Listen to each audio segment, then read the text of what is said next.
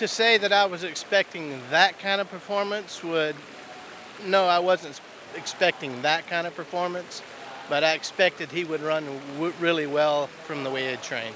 I guess he was a little more keen when he first went back to the track than he had been. He was a little on the muscle, but not over the top. But he's just been really steady and um, very consistent. We've given him some, some half mile works, like around 49, 50 the first couple back, and with some nice gallop outs. And then we worked him 5 so it was more of a pressing work.